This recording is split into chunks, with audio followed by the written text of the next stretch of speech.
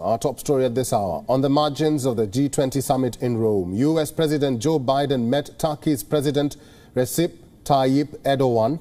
The meet comes at a time when tensions are escalating between NATO allies, U.S. and Turkey. The leaders met on the final day of the summit, and during the meeting, U.S. President Biden told his Turkish counterpart that his request for F-16 fighter jets had to go through a process in the United States. President Biden further expressed his willingness to handle disagreements between the two countries. U.S. lawmakers have opposed the sale of F-16 fighter jets on the grounds that Turkey purchased Russian missile defense systems during the 70-minute meet. President Biden also raised the issue of human rights.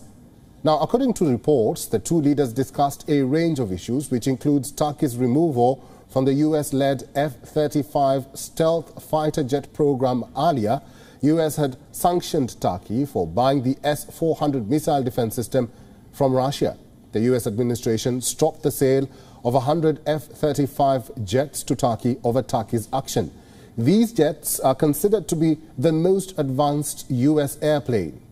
The meeting also included talks on regional issues such as Syria and Libya. Remember, it was only a few days ago that the terror watchdog FATF placed Turkey on its grey list for failing to check terror financing. Ties between Ankara and Washington have come under strain in recent years over policy differences on Syria, Turkey's purchase of Russian S-400 defense systems, human rights and legal issues. Why won't you raise human rights, sir? Earlier, we spoke to the White House Bureau Chief Patsy Widakuswara, who is a part of Presidential Reporters Pool. Let us listen in.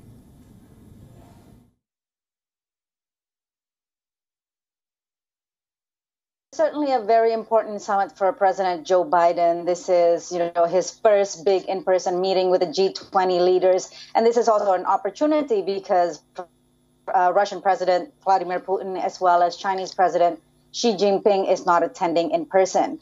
As you mentioned, right now, uh, happening right now is the bilateral between President Joe Biden and Turkish President Erdogan. He just mentioned a few minutes ago in front of my colleagues, the reporters, whether the sale of F 16s, as you mentioned, will be discussed. President Joe Biden said that this will be part of the discussion. But essentially, there are a lot of issues to manage between Turkey and Washington obviously president joe biden is somebody who ran on a campaign of putting democracy and human rights back as pillars of united states foreign policy. He has in the past called president erdogan an autocrat. So the, these issues are going to be irritants going forward in the relationship, but both presidents have a real interest in keeping the relationship at least manageable because President Joe Biden certainly does not want another flashpoint in the region following the messy withdrawal of Afghanistan.